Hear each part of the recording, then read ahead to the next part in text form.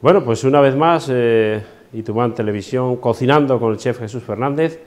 Eh, vamos a dar un nuevo eh, tema, distinto a, lo convencional, ¿no? Unos días estamos fuera de, la cocina, otros días volvemos al pantano, pero hoy vamos a hacer algo no con cocinero profesional, aunque no por ello es menos, menos bueno que nosotros. La verdad es que me transmite mucha fuerza, mucho cariño cuando hace los platos y por eso está hoy aquí. Yo creo que es una persona que debemos de conocer en, el programa. Y vamos a darle la bienvenida, que es lo como se empezamos siempre. Venga, Paco. Buenos días, Jesús. Buenos días, ¿qué tal estás? Muy bien.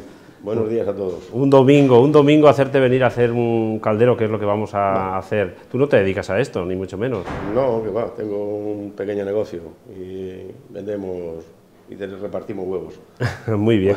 ¿Y, por, qué, por qué te nace el, instinto de cocinar? ¿Qué te, ¿Qué te, llama tanto la atención? Porque yo siempre te veo enfrascado, haciendo, haciendo, haciendo, comidas grandes comidas. Con los amigos. Y, pues, no sé, me gusta y nadie me inculcó el, hacerlo, pero me nació poco a poco. Y ¿Te, hubiera gustado cada día me gusta más. ¿Te hubiera gustado ser cocinero?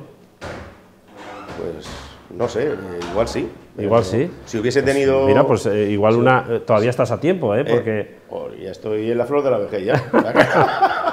bueno, pues vamos a pasar a los fogones, vamos a pasar a la cocina y a ver ese tradicional caldero que nos vas a explicar y además a mí yo nunca lo he visto hacer, sí lo he comido por ahí en los restaurantes, pero nunca lo voy a hacer. Para mí va a ser un honor y para los espectadores que nos escuchen, que nos vean, en Itumán Televisión yo creo que también va a ser novedad. Vamos a hacer un nuevo formato, un nuevo sistema, un nuevo programa, por decirlo de alguna forma. Vamos a pasar, Paco. Muy bien.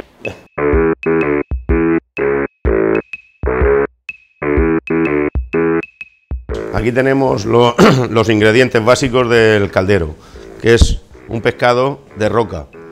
Los reyes del caldero son la gallina y el gallo Pedro, pero como esto es una pesca que hemos hecho entre amigos, pues lleva una lecha, lleva unas doradas, lleva pargo y, lleva chopa, que son de roca y va a salir espectacular. Eh, el siguiente ingrediente es la si es, si es la mejor que se encuentra, hay que ir a Guardamar a recogerla, los ajos, el tomate para rallar, la patata, la sal y el arroz. Básicamente es lo, lo que hay que echar. Bueno, pues como es costumbre, Paco, eh, como tú nos ves por, por Itumán Televisión, pero regalamos siempre un mandil, ¿eh? un mandil que nos hacen aquí en Almoradí, y la verdad es que, bueno, que lo lleves eh, de recuerdo de este día, de este programa, y que te sientas, pues bueno, orgulloso de llevarlo y de ser amigo mío que también influye. Muchísimas gracias. Cocinando con el chef Jesús Fernández. Amarillo te ha tocado. Me preguntabas el color y digo, pues la verdad que no lo sé. ¿Te gusta el amarillo, Paco? A mí me encantan todos los colores. la verdad es que... Pues vamos a hacer, eh, Paco, lo que hemos venido a hacer. Venga, el, caldero. Muy bien, mira. Vamos allá. Aquí tengo ya preparado eh, lo que es la, eh, la base. Es muy sencillo. Es solo sofreír la ñora, que está ahí a sofrita, y el tomate rallado se le pone ya el fumé y ahora cuando empieza a hervir se hace la picada de la ñora y se añade. A los 5 o 10 minutos de estar hirviendo ya podemos añadir el pescado que ya está aquí en sal gorda para que la carne eh, endurezca y no se abran las espinas al, guisarlo. Ahora lo lavamos enseguida mientras hierve y lo, eh, ya lo ponemos. Paco, este, este pescado... Este pescado lo sacamos ayer tarde. ¿Zona de captura? Eh, en Guardamar. Guardamar, jolín. En Guardamar lo sacamos, entre 5 o 6 amigos. Ese rojo que estamos viendo en... Ese rojo es el que da... No es pimentón, ¿verdad? No, señor. Eso de rojo es el, el, de sofreír la ñora y el del tomate. Es el la verdad que la ñora de guardamar es un plato eh, indispensable en las cocinas. Es el ingrediente principal, aparte del pescado, que, que, tiene que llevar el caldero. La verdad que sí, la verdad que sí. Pues fíjate que en mi ignorancia, cuando yo estaba en el norte y ven- venía alguna vez aquí y veía eso, pensaba que era Pensaba que era pimentón. O, o el pimiento choricero que usan los vascos. Sí, sí, y sí. sin embargo descubrí que era la añora. No, yo no la conocía. Además, tiene el sabor característico que tiene la ñora de Guardamar. que es- todo el mundo sabe que es la mejor de, Sí. la mejor de España. Vamos a hacerlo en la Turmi. Ajá, muy bien. Vamos. La ñora tiene que ser abundante. Casi ñora por, por cabeza. Bueno, aquí solemos decir, Paco, abundante no, solemos decir que miserias que no hay. que- Que no haya miseria, ¿no? que no, miserias no. miserias no. Decían...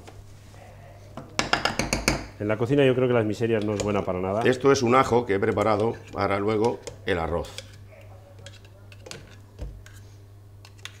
Y como que hay que, ponerle ajo también a la ñora, aprovechamos.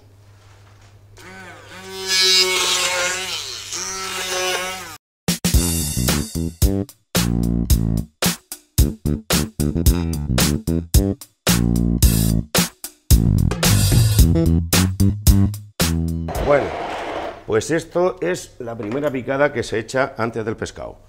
Vaya aroma que tiene ¿eh? la, la ñora, ¿verdad? ¿Has visto? Ya. Y no lleva nada todavía, no lleva ni pescado, solo lleva agua. Y la ñora. Esto es espectacular. Ya verás el día que nuestro compañero Asier, el cámara, descubra que se puede transmitir el olor también por la cámara. Yo creo que va a ser número uno en Europa. Ya no- vale más que no se haga eso, ¿eh? No. Jesús, porque si la gente se transmite el olor y el sabor por la cámara, no van a venir al restaurante.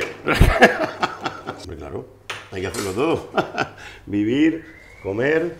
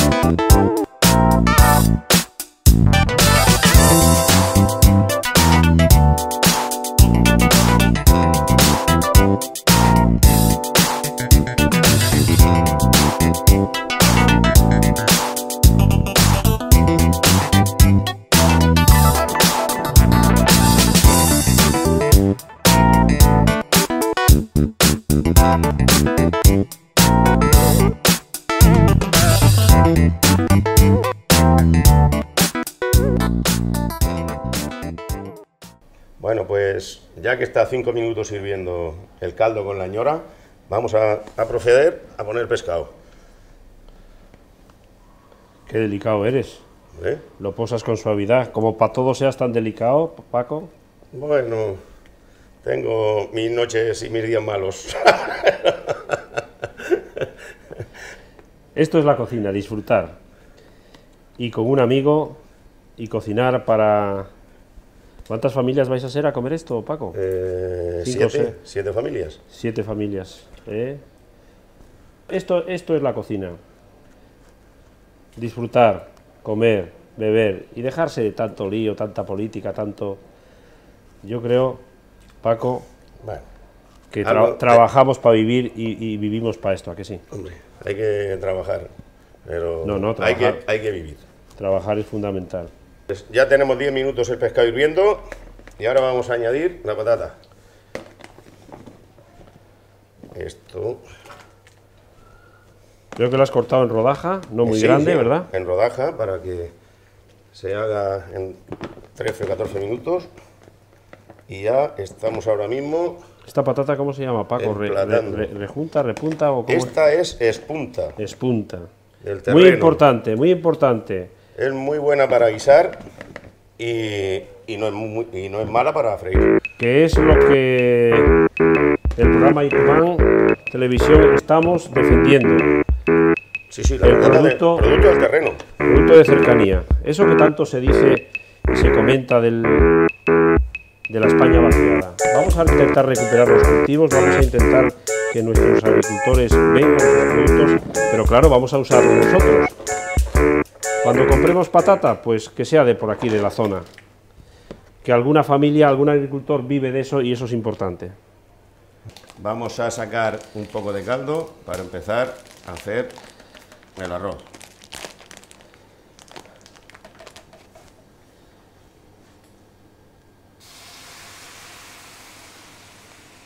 ¿Está hirviendo? Sí, sí, sí. Bueno, como está hirviendo el, como está hirviendo el caldo, ya se puede servir arroz. La medida, esto es por persona, una flanera no muy grande y no muy llena, esto sería para una persona, dos personas. Lo remueves, Claro que sí. Con tu cuchara. bueno, esa pertenece aquí al pantano, yo creo, ¿no? El redondo, ¿te gusta a ti? Sí, el, el redondo. Sí, sí. Yo, sin embargo, tengo manía, cocino con bomba. Importante, sea signo, sea de la fallera, que sea Sí. de la comunidad valenciana. La albufera de Valencia produce los mejores arroces del mundo. O sea que me da igual que tú cocines con un arroz o con otro, pero siempre intenta que sea mirar en la contraetiqueta cuando vamos a esa a la tienda que sea de Valencia. Es sencillo, lo saben. Yo bomba, él redondo, pero Deo Valencia De siempre. Valencia. Bueno, pues esto está. Yo he aprendido uno de los ingredientes más importantes que he visto aquí ha sido la ñora de guardamar. Sí, sí, claro. Es muy importante la ñora Le, del le- le he visto, le he visto que No, nada Eh, de pimentón, el ni color de y el aroma. Y esto ahora, ñora. 20 minutos o menos o más. El bomba, tú eres el chef, yo Sí, el yo- signo yo 20. son 18. Yo, El yo, signo redondo es 18 minutos. yo el bomba le doy eh, dos cazos de agua por flanera y eh, 20 minutos total, es decir, 15 a fuego máximo, 5 Sí. a fuego lento y reposar. Este es el caldero básico que se ha hecho toda la vida. Cuanto más eh, azúcar, más dulce. Eh, le pones, puedes poner una gambita, le puedes poner atún, Paco, ¿y cómo le puedes tú, poner calamar. cómo tú, no siendo marinero, tienes afición? Porque esto era, era de. se comían los barcos, siempre lo he oído, En ¿verdad? En, los barcos. En los En los barcos. barcos. Pues, por mi curiosidad de las cosas que, que no se pierdan y cómo eran antiguamente, pues me- gusta, me, me gusta hacer migas, eh, de las que hacía mis abuelos. Beber cava, El sí, el cava sí, por cava es supuesto. importante, Eh, el cava y el vino te gusta. El plato del pescado. Se pone una base de patata y luego se sirven los trozos de pescado para que coja cada uno el que le corresponda.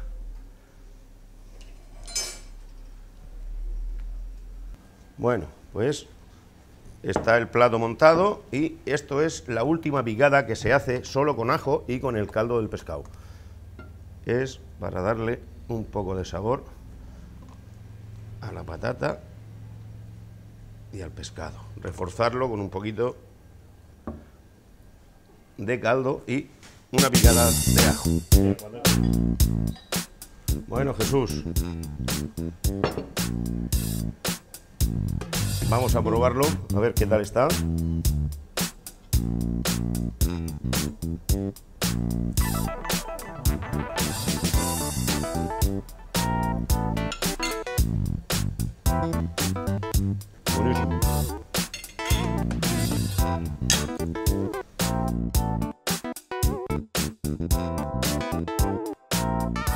Pues he dejado los fogones, vengo a ver a Juanmi, a Dolores, en pleno corazón de la Vega Baja, para ver esa problemática que tenéis en este momento los agricultores. Juanmi, adelante en el programa con el chef cocinando, ¿no? Jesús Fernández. Bueno, Jesús, venga, vamos a hablar del tema. Eh, problema, la catástrofe del mundo agrario en España. Es, una catástrofe, lo sabe todo el mundo, está publicándose en todas partes. ¿Y cuáles son los temas que realmente nos han conducido a esta situación?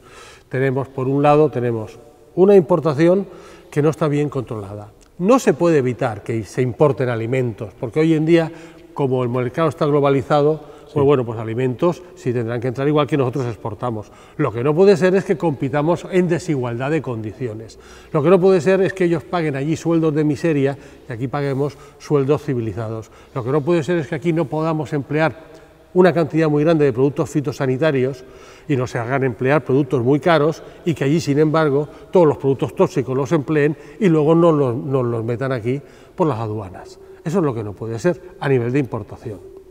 A nivel de la cadena alimentaria, la regulación de la cadena alimentaria no está bien llevada, porque aquí una serie de, grandes superficies son las que venden el 60% de casi todo el consumo español. ¿Por qué? Pues porque el 50% casi de la población española vive, vive en ciudades.